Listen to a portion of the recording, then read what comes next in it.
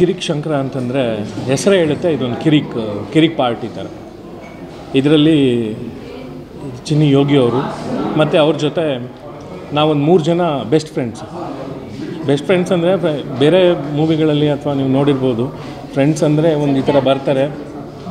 ಬರ್ತಾರೆ ಮತ್ತು ಹಿಂಗೆ ಹೋಗ್ಬಿಡ್ತಾರೆ. ಬಂದಿದ್ದು ಗೊತ್ತಾಗಲ್ಲ, ಹೋಗಿದ್ದು ಗೊತ್ತಾಗಲ್ಲ. ಬಟ್ ಇದರಲ್ಲಿ ಅನಂತರಾಜು ಸರ್ ಮೂವಿಲಿ ಒಂದು ವಿಭಿನ್ನವಾದ, ಮತ್ತು ಒಂದು ವಿಶೇಷ ಇದೆ.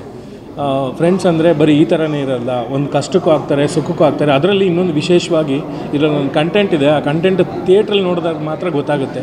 ಹೌದು, ಕರ್ನಾಟಕಕ್ಕೆ ಈ ಥರ ಬೇಕು, ಈ ಥರ ಇದ್ದರೆ ಚೆನ್ನಾಗಿರುತ್ತೆ ಅಂತ ಅನಿಸುತ್ತೆ. ಅಂಥ ಒಂದು ಮೀನಿಂಗ್ಫುಲ್ ಮತ್ತು ವರ್ತ್ ವರ್ತ್ ಇದೆ. ಸುಮ್ಮನೆ ದುಡ್ಡು ಕೊಟ್ಟು ಟೈಮ್ ಪಾಸ್ ಮಾಡಿಕೊಂಡು ಹೋಗುವಂಥದ್ದಲ್ಲ. ಇದೊಂದು ಮೂವಿ ನೋಡಿದಾಗ ಅನಿಸುತ್ತೆ, ಹೌದು, ಈ ಥರ ಇದ್ದರೆ ಎಲ್ಲರೂ ಚೆನ್ನಾಗಿರ್ತಾರೆ ಎಲ್ಲರೂ ನಗ್ನಾಗ್ತಾ ಇರ್ತಾರೆ, ಈ ಥರ ಬೇಕು ನಮಗೆ ಅಂತ ಅನಿಸುತ್ತೆ. ಇಂಥ ಮೀನಿಂಗ್ಫುಲ್ ಮೂವಿನ ಯಾರೂ ಮಿಸ್ ಮಿಸ್ ಮಾಡ್ಕೋಬೇಡಿ.